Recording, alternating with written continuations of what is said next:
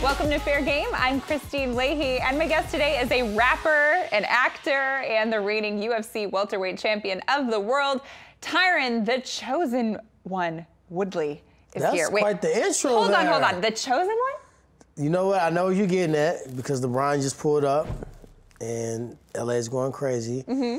I don't know who had the nickname first. I think he did. But when I There's a rapper that it, has that nickname it too. Uh huh. I didn't know that. Yeah, Kid Cudi. Dang. Well, if it come down to fighting over it, I think I might end up with the name.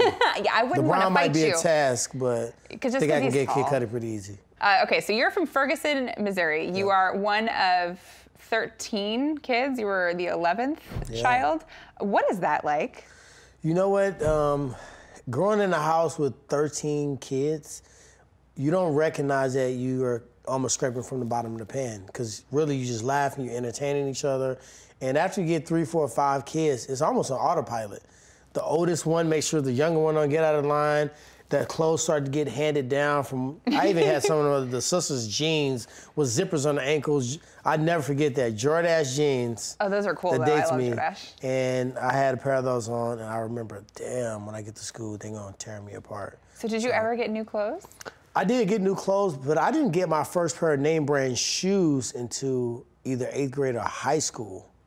So now my kids have ne- like they not that it's all about material things, but just sometimes things from childhood get stuck into your mind. Like I remember uh, remember getting evicted from my house, and that was like tragedy. Like I used to walk past the house, see the pink sticker, know you used to live there, all your friends knew it, and you had to walk past it. So when I got a chance, you know, beating some beating some ass, since I can say that, beating some ass in the UFC, I just paid my house off because I don't want my kids to ever be in mm. position or jeopardy to have that happen. So to answer your question, I think just you learn how to love the quality of life. You learn how to support each other.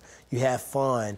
I think that's part of the reason why I was able to get into stand-up comedy because we had the we didn't have money for everybody to go to movies. Imagine going to the movies with 15 people. That's expensive. That's a big bill. so you say that growing up, it was just a daily struggle just to survive in your for sure. neighborhood. What were the kind of things you were seeing? Uh, a lot of drug dealing. Um, I probably heard gunshots every other day.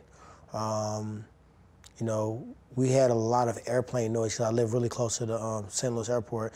So the airplane would come over and would shake, shake the windows in the house. But at times you'd be like, well, I'd rather have the airplane shake and make that loud noise and hear the gunshots. So, um, drug dealing, murders, um, pretty much. I mean, you ever see the movie New Jack City?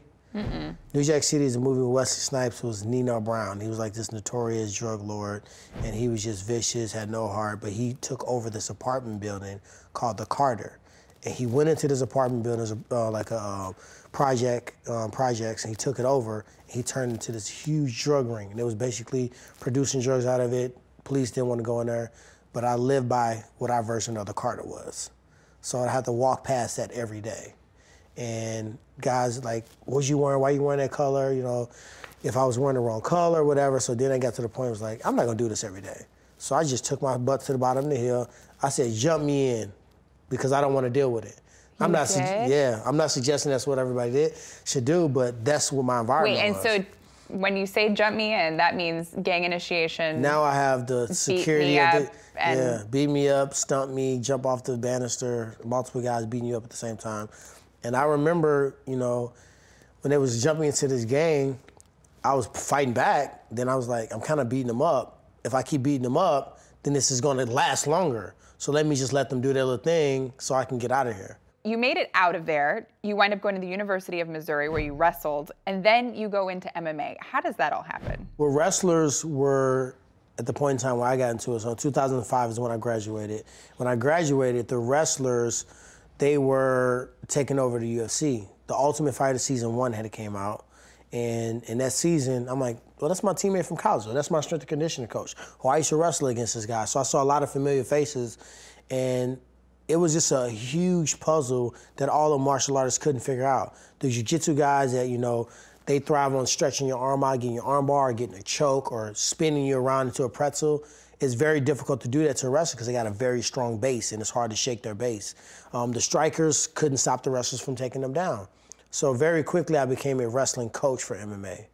Then I was around it long enough. I was like coaching all these UFC fighters, you know, helping them out with their wrestling. And then I said, well, let me just give it a try. I never really wanted to fight. I never got into fighting because I wanted to be a UFC champion. I wanted to give it a try. And then once I did it, my first five fights were like less than a minute, like like stupid fast. Like I, I had seven amateur fights, and six of the seven were done within the first few seconds of the fight. yeah. Wow. So so I'm like, well, let me get this a real try. Yeah, let me make some money from this. Is it true your first fight was at the Holiday Inn? My first. How do you get that information? Dang. Research. Wow. Well, that is a hundred percent fact. Holiday Inn was called the Patriot Act. My teammate Ben Askren um, was now undefeated fighter as well. He also debuted. He promoted the show and fought on the show. And yeah, I had a um, quick fight. You've come a long way since the Holiday Inn. Your next fight isn't going to happen probably until next year. Yep. Everyone wants to see you fight Colby Covington. Who is that? A lot of people want to see it. Is that going to happen? I don't even know who that is. Oh, you don't know I'm gonna name? beat him up, yeah. You know why? It's, it's more of a, a public service. Sometimes you do things that it's just good for the country. Mm-hmm. He just needs to get his ass whipped because he's annoying. Oh. Um, he is very terrible at talking crap because I think he thinks he has to do that to promote a fight. And he used to just be my training partner. I used to pay to beat him up. So you used to pay him. Oh, he was your partner, so you paid him. he fights for the, same fight. team I fight for. We both fight for American Top Team. In the beginning, when he first was getting into fighting, um, I used to pay him like 500 bucks a week. He'd come in to St. Louis. I put him at a place, give him a rental car, pay for his food, and he would be my training partner. yeah, yeah. So basically, when I say that, it's jokingly, but it's actually true. Does this animosity go back before? Like, how, how long does this go back? Or is this Um, just well, because we never really had animosity because you know he wasn't he wasn't even a professional fighter yet. Yeah. And I was I was getting ready to fight for a number one contendership fight, and I brought him in to help me out. And um, I just remember, I can talk, I can say whatever I want to, can I? Yeah, yeah. Go ahead. All right. I'm not gonna use my Fox filter. Um, Not here. It's rem- fair game. Remember? oh wow. Well, yeah, sure. The show's called Fair Game. All right, well, we was in a training session. I just remember having him in these submissions, and he would turn blue like a um, blueberry. And he would put it up on my charge card to either let him go or put his ass to sleep. So a few times I'm like, he's about to go out, and I let him out. He pop his head out, boo, boo, boo. And now he acts like he defended the, the submission and keeps trying to continue with the live go. So now I'm like, all right, Okay, then we'll we'll start doing another driller technique. And he was an All-American wrestler, so he was brought in to do what? Wrestle. So we get to the wrestling portion of practice. All right, Tyron need his partners for wrestling. And he's like do do do do do do do do do walking around in the weight room looking like he don't hear people calling him to come and wrestle. Um, the last straw is I was wrestling him and I told my coach, I said, I'm about to torture him today. I'm about to take him down and watch how he gets pissed off.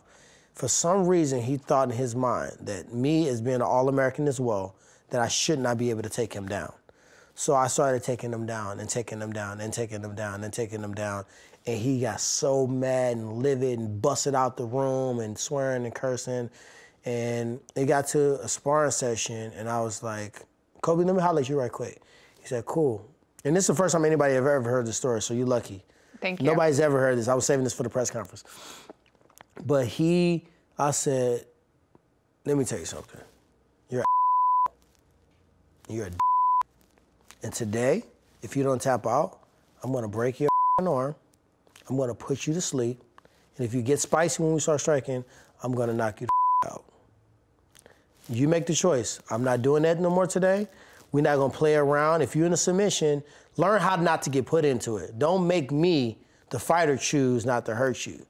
And we had that sparring session, and miraculously, he had to go back to Florida. He was injured. His ankle was hurting. He didn't do it. He didn't do it. Wow. No, he did the sparring session. He Oh. did. So he's doing that. I'm doing this. You don't need to say anything. Pretty simple.